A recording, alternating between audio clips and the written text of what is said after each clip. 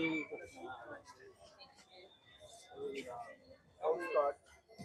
মণিকর্ণিকা ঘাটের ইতিহাস জানতে গেলে তো ইতিহাসের অনেক ভেতরে ঢুকতে হবে, তবে এটা মনে করা হয় হিন্দু শাস্ত্র অনুযায়ী যে সতীর কর্ণ হ্যাঁ মণিকর্ণিকা মানে কুন্তলকে কর্ণিকা বলা হয় সংস্কৃত ভাষায়, তার জন্যেই এই জায়গাটার পরে নাম হয়েছিল মণিকর্ণিকা ঘাট এবং মনে করা হয় মানে হিন্দু শাস্ত্র মতে যে যারা মণিকর্ণা, কর্ণিকা ঘাটে যাদেরকে দাহ করা হবে, তাদের মোক্ষ লাভ হবে। আত্মার মোক্ষ লাভ মানে আবার তাদের পুনর্জন্ম হবে। মহাদেব कृपया आप सभी उचित स्थान लेके बैठ जाएँ। जय जय गंगे। प्रवाह पावित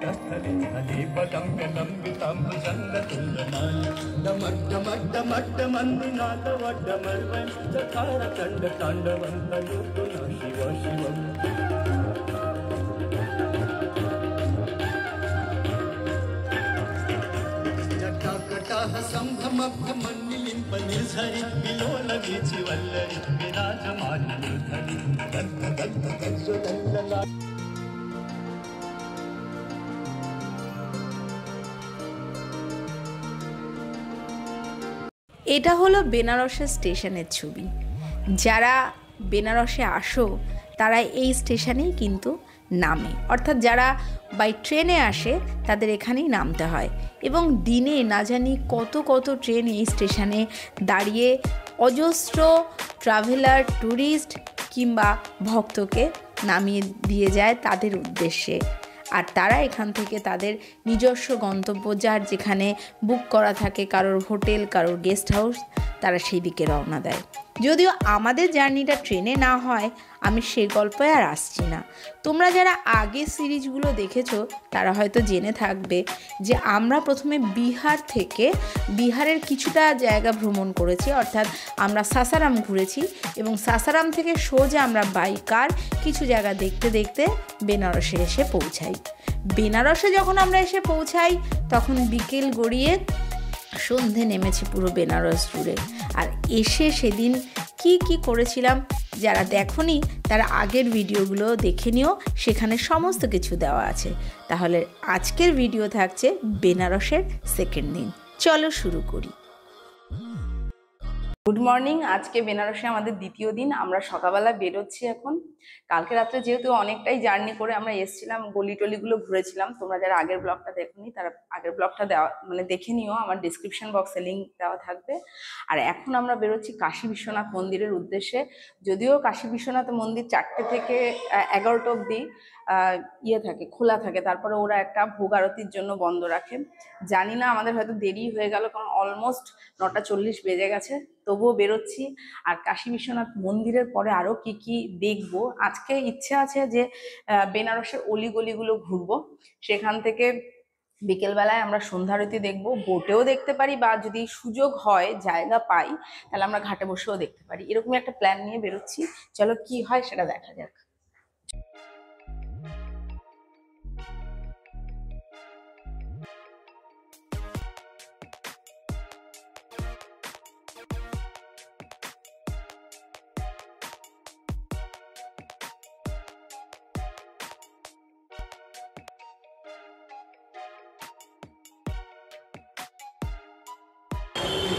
আমরা এখন গির্জাঘর থেকে মানে গির্জাঘর মোড় যেটা, গির্জা মোড় যেটা, সেখান থেকে আমরা এখন যাচ্ছি কাশী বিশ্বনাথ মন্দিরের দিকে।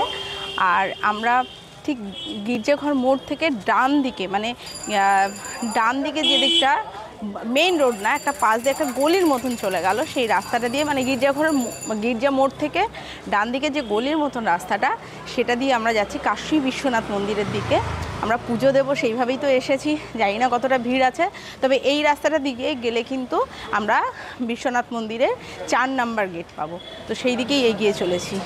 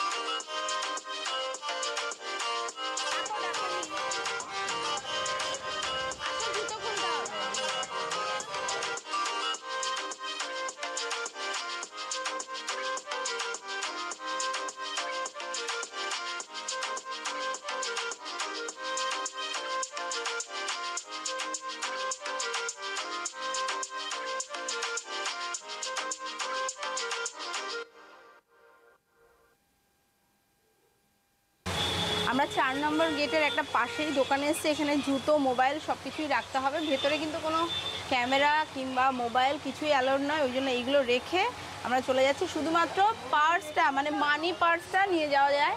সেই জন্য আমাদের রাখতেই হচ্ছে। ফলে ভিতরে কি করে পুজো দিচ্ছি সেটা তো দেখাতে পারব না, তবে দর্শন করতে যাচ্ছি মাকে, বাবাকে। পুজো দিতে যাচ্ছি, মাকে বলে ফেললাম, ওটা কিন্তু ভুল বললাম।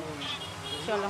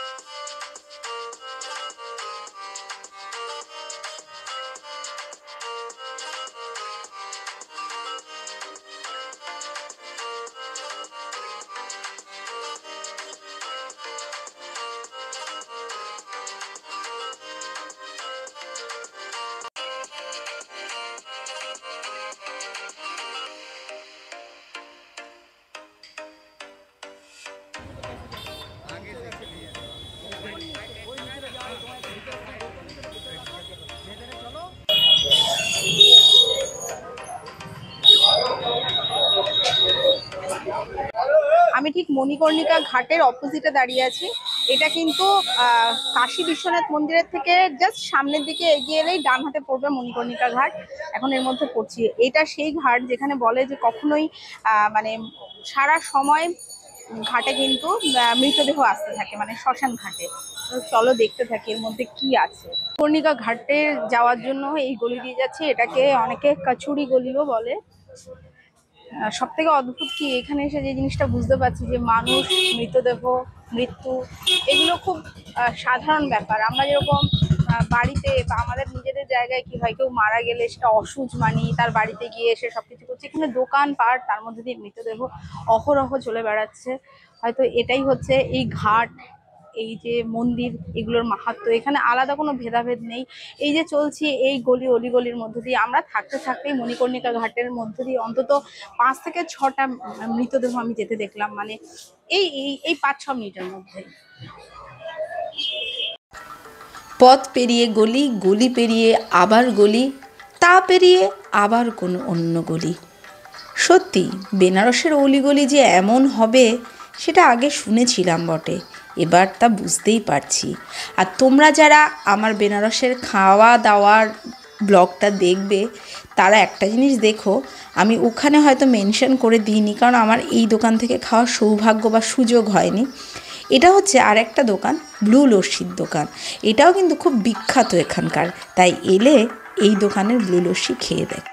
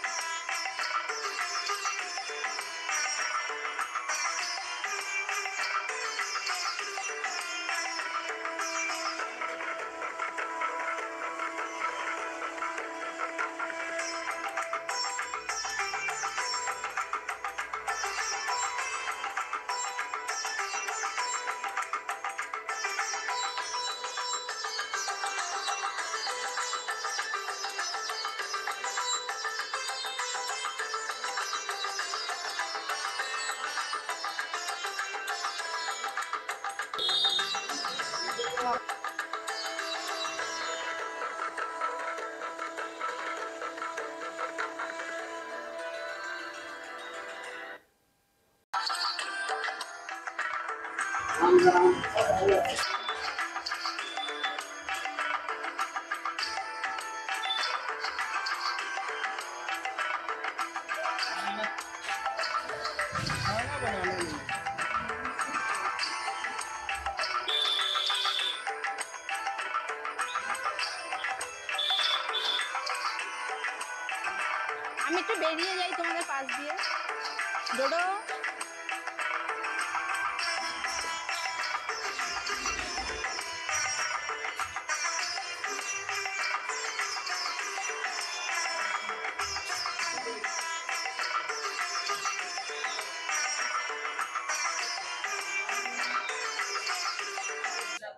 মণিকর্ণিকা ঘাট কিন্তু এই যে আমাদের কাশী বিশ্বনাথ মন্দিরের ঠিক পেছন দিক দিয়ে যেতে হয়। আমরা যখন এখন যাচ্ছি, তখন দেখছি এক সাইডে আমরা মন্দিরকে পাশে রেখে আরেকটা গেট রয়েছে। আমি আগে তখন মানে বুঝতে পারিনি।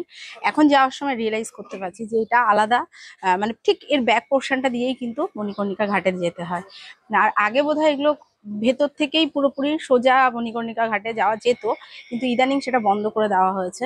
বিভিন্ন কারণে সেগুলো তোমরা নিশ্চয়ই শুনেছো। আর আরও যেটা কারণ, সেটা আমি পরে তোমাদেরকে আরও ভালো করে বলব। চলো মনিকা ঘনিকা ঘাটের দিকেই আমরা এগোই।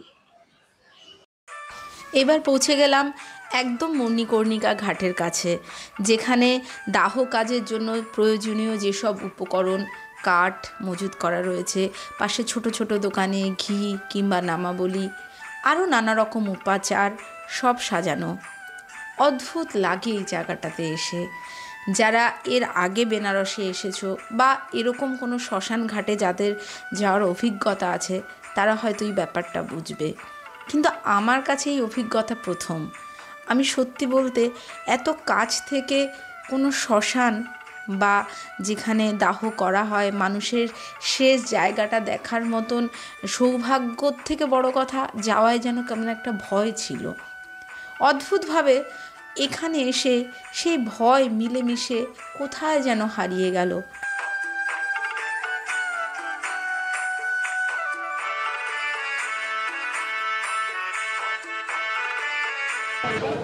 এখন দাঁড়িয়ে আছি মণিকর্ণিকা ঘাটের পাশেই সাধারণত দাহর মানে যেখানে শ্মশান রয়েছে ঠিক এর পাশে, আর এই সাইডে ছোট ছোট টোল মতন রয়েছে, যেখানে যারা দাহ কাজ করায় তাদের আত্মীয় স্বজনরা এখানে এসে তাদের যে খোর কর্ম এগুলো করে, আর মণিকর্ণিকা ঘাটের ইতিহাস জানতে গেলে তো ইতিহাসের অনেক ভেতরে ঢুকতে হবে, তবে এটা মনে করা হয় হিন্দু শাস্ত্র অনুযায়ী যে সতীর কর্ণ হ্যাঁ মণিকর্ণিকা মানে কুন্তলকে কর্ণিকা বলা হয় সংস্কৃত ভাষায়, তার জন্যই এই জায়গাটার পরে নাম হয়েছিল মণিকর্ণিকা ঘাট এবং মনে করা হয় মানে হিন্দু শাস্ত্র মতে যে যারা মণিকর্ণা কর্ণিকা ঘাটে যাদেরকে দাহ করা হবে, তাদের মোক্ষ লাভ হবে। আত্মার মোক্ষ লাভ মানে আবার তাদের পুনর্জন্ম হবে এবং এই কারণেই কিন্তু এখানকার লোকাল লোকজন বা উত্তরপ্রদেশে যারা মোটামুটি এই আশেপাশে আছে, তারা এই ঘাটটাই প্রেফার করে যেহেতু পুনর্জন্ম লাভের জন্য।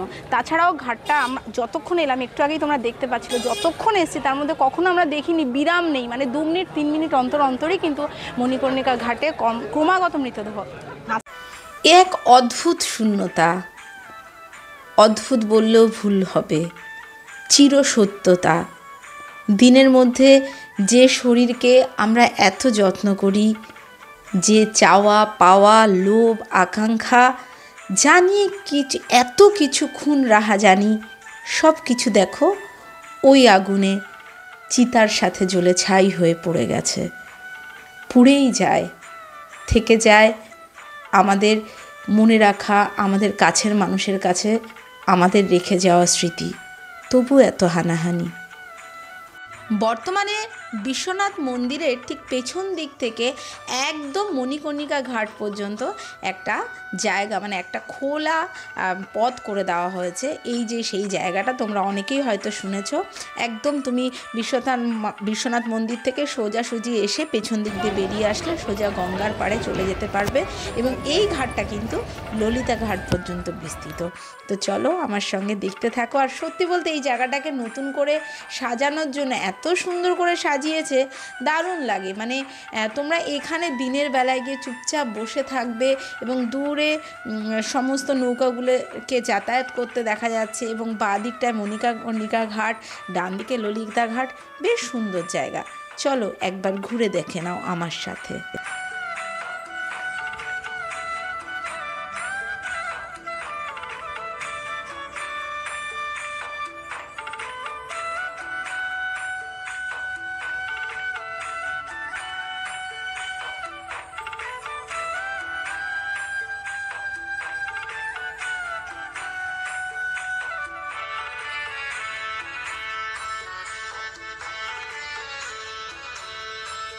আমরা যে গঙ্গাকে চিনি, এইখানে কিন্তু সেরকম নয়। গঙ্গা মানেই আমাদের কাছে বিশাল চওড়া নদী, অনেক অনেক বেশি জল। আর সেটা কিন্তু বেনারসে নয়। বেনারসে হচ্ছে গঙ্গার মধ্যবর্তী গতি। আর এই যে ঘাট, ঘাটের নৌকা, সমস্ত কিছু কিন্তু তোমার মানে নৌকাগুলো ভাড়া নিলে প্রত্যেকটা ঘাট ঘুরিয়ে ঘুরিয়ে তোমাকে দেখাবে। তবে বার্গেনিং করতে হয়, কেউ তিন হাজার চাইছে, কেউ চার হাজার চাইছে। অনেকেই হাজার টাকার মধ্যে বা বারোশো টাকার মধ্যে সেই বাজেটটাকে নামিয়ে এসে যাচ্ছে এবং প্রত্যেকটা ঘাটকেই ঘোরাবে। যেহেতু এখন রোদ, আর আমরা এই মুহূর্তে ঘুরবো না, আমাদের ইচ্ছা আছে এখন গিয়ে অন্নপূর্ণা মন্দিরে খেয়ে মানে অন্নপূর্ণা যেখানে খাবার ফ্রিতে খাবার খাওয়া- খাওয়ানো হয়। সেখানে বিশাল লাইন যদিও, তবু এখন যাবার আমি ঘাটের পাশ দিয়ে হাঁটছি, তোমরা দেখতে পাচ্ছ। ভীষণ রোদ। আর দেখো চারিদিকে যারা এই সময় হয়তো বিকেলে বেরিয়ে যাবে বা কিছু আজকে টাইম নেই, তারা কিন্তু সবাই মোটামুটি নৌকায় এখনই চড়ে নিচ্ছে। মন্দির দর্শন, ভগবানকে পুজো দেওয়া এবং তারপরে খানিকক্ষণ এ ঘাট ও ঘাট ঘুরে আমরা এবার চললাম দুপুরবেলার পেটের ব্যবস্থা করতে। অর্থাৎ দুপুরবেলার যে খাবার, সেটা ভেবেই নিয়েছিলাম যে এখানে যে অন্নপূর্ণা খাবারের জায়গা আছে, অর্থাৎ একটা ট্রাস্ট সেখানে তোমায় দুপুরবেলায় এরা পুরো ফ্রিতে খাওয়ান। তার তোমরা যদি চাও সেখানে ওখানে ডোনেশন আছে। সেটা এরকম নয় যে তোমাকে দিতেই হবে। তুমি যা চাও যদি পারো দিতে তবে দেবে। চলো সেই জায়গাটা দেখে আসি। আর আমরা এখানেই এই দিনের দুপুরবেলা লাঞ্চ করেছিলাম। তবে যেহেতু ভিতরে ক্যামেরা বা মোবাইল কিছুই অ্যালাউ নয় তার জন্য আমরা ভেতরে কীভাবে কি খেলাম সেটা দেখাতে পারলাম না। তবে চলো কীরকম খেলাম সে অভিজ্ঞতা ভাগ করে এখন আমরা দাঁড়িয়ে আছি কাশি অন্নপূর্ণা অন্ন ক্ষেত্র ট্রাস্ট এখানে কিন্তু তোমরা দুপুরবেলার মিল মানে লাঞ্চটা পুরোপুরি করে নিতে পারো। কোনো পয়সার দরকার হয় না। তোমাদের যেটা খুব মিনিমাম কোনো কিছু যদি কারও দেওয়ার ইচ্ছা হয়, এই ট্রাস্টিতে দান করতে পারো এবং খুব সুন্দর খানা। মানে আমরা যেটা খেলাম, সেটা সত্যি এই মানে এই অসময়ে এসে গরমে দুপুর দুপ- দুপুরে এসে গরম গরম ভাত, ডাল এবং আলু ভাজা, তার সঙ্গে একটা করে মিষ্টি এবং খুব সুন্দর খাবার, ভীষণ পরিষ্কার। যারা দিচ্ছে তারাও ভীষণ ভালোভাবে কোঅপারেটিভ তো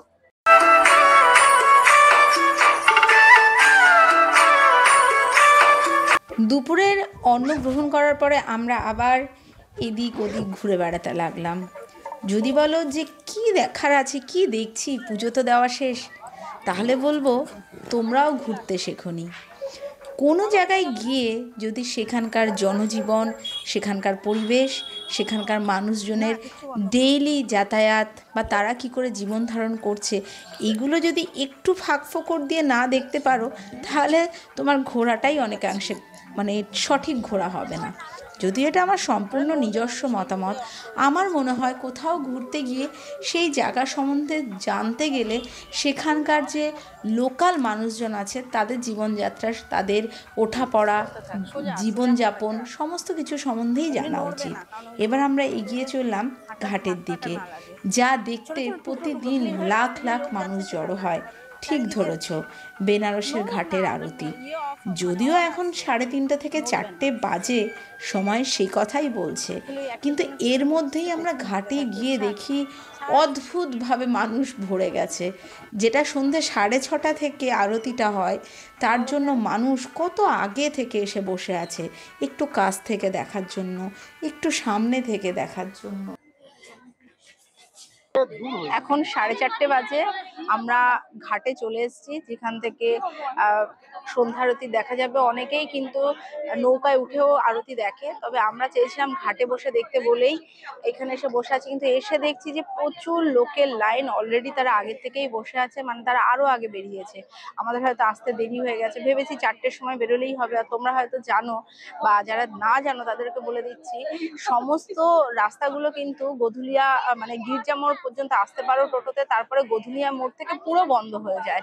মানে আমরা যখন এসেছি, কোনো অটো বা টোটো কিছুই চলছে না ইভেন রিক্সাও না। সেই জন্য অনেকটা হেঁটে আসতে হয়। এবার মনে হলো আজকে আসতে দেরি হয়ে গেছে। আর একটু আগে আসলে আমরা আর একটু সামনে জায়গা পেতাম। যাই হোক, এখান থেকেই দেখব, আশা করি দেখতে পাবো। আর আমরা আজকে আর নৌকাতে উঠলাম না। নৌকা চড়ে যে মানে আরতি দর্শন করা যায়, সেটা আজকে করব না, সেটা কালকে করব। সূর্য যত পশ্চিমে হেলে যাচ্ছে, মানুষের ভিড় যেন আস্তে আস্তে একটু একটু করে বাড়ছে। তোমরা দেখতে পাচ্ছ তো, সামনের ওই জায়গাগুলো, অর্থাৎ ওই নৌকাগুলো পুরো ফাঁকা হয়ে রয়েছে, ওগুলোও কিন্তু এই দর্শন করায়। অর্থাৎ ওই নৌকাগুলো ভাড়া দেওয়া হয় এই সন্ধ্যা আরতি দেখার জন্য। ঘাটের ওপাশে, অর্থাৎ নৌকাতে বসেও কিন্তু তুমি সন্ধ্যা আরতি দেখতে পারো। এখন যে নৌকাগুলোতে পুরো ফাঁকা দেখছ, একটু পরে এগুলোতে সব মানুষ বসে যাবে। একটা নির্দিষ্ট টাকার বিনিময়ে তুমি গঙ্গার ওপারে বসেও দেখতে পারো। তবে আমরা একদম সামনে গিয়ে না বসলেও যেখানে দাঁড়িয়ে যারা মানে এই আরতিটা করে, তাদের ঠিক পেছনেই দাঁড়িয়েছিলাম। ফলে বলতে পারব না যে কাছ থেকে নয়। অ্যাকচুয়ালি আমরা যেখানে বসেছিলাম, তার পাশেই ওরা ওদের বসার জায়গা এবং ওদের যেসব উপকরণ রাখা থাকে সেগুলো রাখার জায়গা। আর ওখানেও বসতে দেওয়া হয়। কিন্তু ওখানে কিছু যারা বাইরে থেকে ফরেনার আসে, এটা যদিও আমার ইনফরমেশানটা ঠিকভাবে জানা নেই, কিন্তু তারা দেখলাম আগে থেকে গিয়ে ওখানে বসে আছে। হয়তো ওরা আগে থেকে কোনো টিকিটের ব্যবস্থা বা আগে থেকে জানিয়ে মানে অন্য কোনো প্রশাসনকে জানিয়ে হয়তো ব্যবস্থা করা যায় ওখানে বসার। যদিও এই ইনফরমেশন কিন্তু আমি সঠিকভাবে জানি না, তাই তোমাদের সেই ব্যাপারে কিছু বলতেও পারব না। তবে যত সময় বাড়ছিল, তত দেখছিলাম যে মানুষের ভিড় আস্তে আস্তে করে মানুষ বাড়ছে।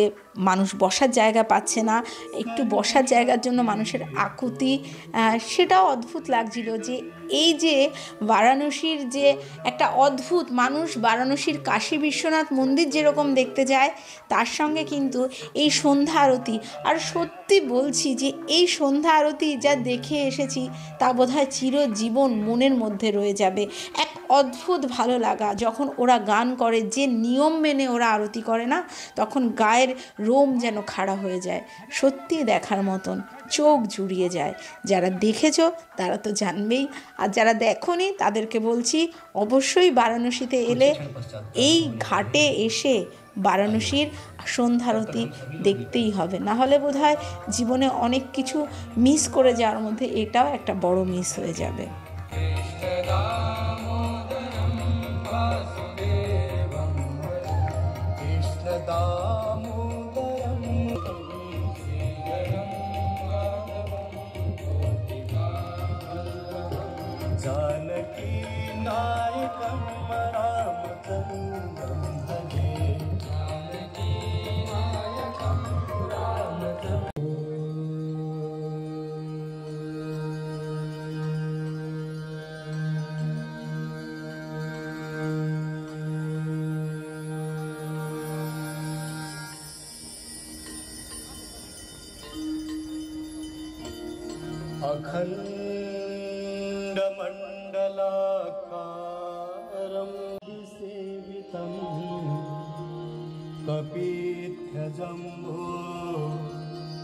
लतारुभक्षणम्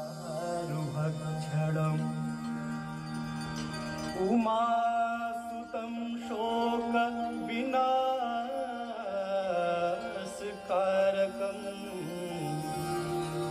नमा।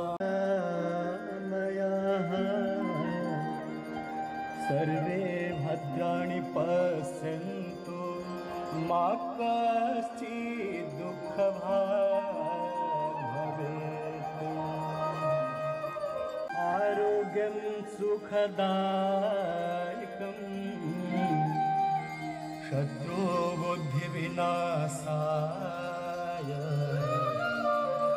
दीपदेवो नमो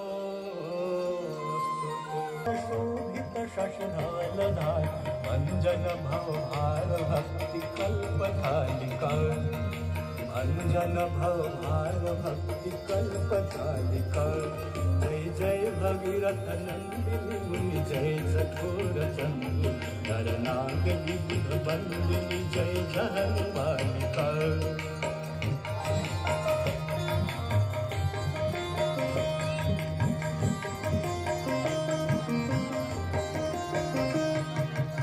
जतटवसी विहंग जल थल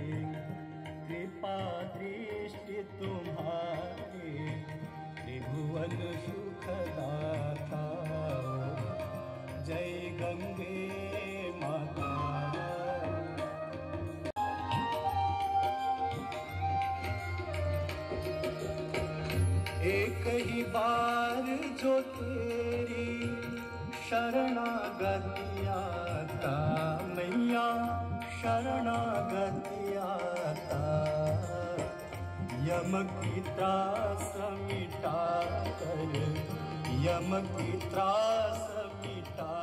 कर परम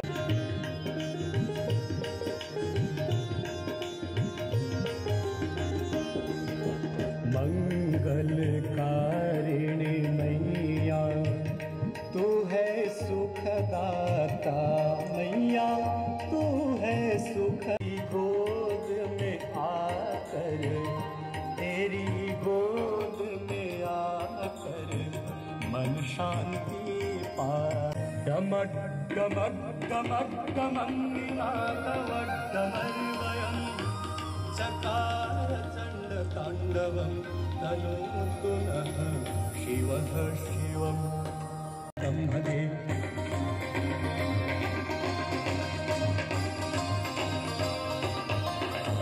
जयत्वदब्धबिद्धमब्धमद्भुजङ्गमस्सु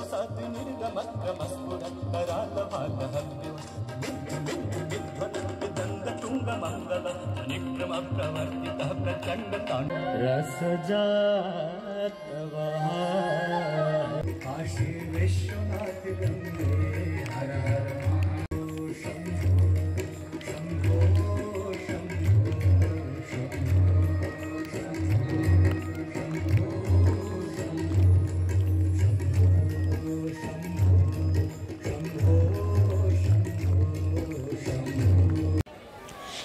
অবশেষে সন্ধ্যা আরতি শেষ হলো। আর সন্ধ্যা আরতি শেষে দশাশ্রমের দে- ঘাটটা দেখার মতন হয়। যখন মানুষজন এই গলিগুলোর মধ্যে দিয়ে ঘরে ফেরে, তোমার দেখে কলকাতা দুর্গাপুজোর থেকে কোনো অংশে কম মনে হবে না এবং এ ভিড় নাকি একই রকম ভরে সারা বছর হয়ে থাকে। ভালো লাগল। ভালো লাগল পুরো দর্শন করে, পুরো আরতি দর্শন করে। সত্যি একটা অদ্ভুত মনের মধ্যে শান্তি নিয়ে আসলো। মন যেন খানিকক্ষণের জন্য হলে অনেক পজিটিভ এনার্জি গ্রহণ করল। এবার চলো বেনারসির চুড়ির দোকানে। যেতে যেতে চুড়ির দোকান দেখে থমকে গেলাম। বেনারসের চুড়ি, বেনারসি শাড়ি, এগুলো তো অনেক আগে থেকেই আমরা নাম জেনে থাকি সেইগুলো যখন একদম সম্মুখ শিওরে দাঁড়িয়ে আছে না দেখে না কিনে বোধহয় অনেকটাই লস হয়ে যাবে। তাই ঢুকে পড়লাম এবং দেখে যা মনে হলো সেটা হচ্ছে দামটা আমাদের কলকাতার থেকে ওখানে খুব একটা হেরফের না। তবে বেশি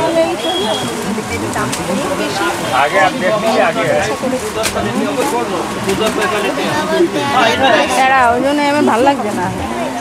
সেখানে গেলেও আর এক জিনিস দেখলাম, তা হচ্ছে মায়ের বিসর্জন।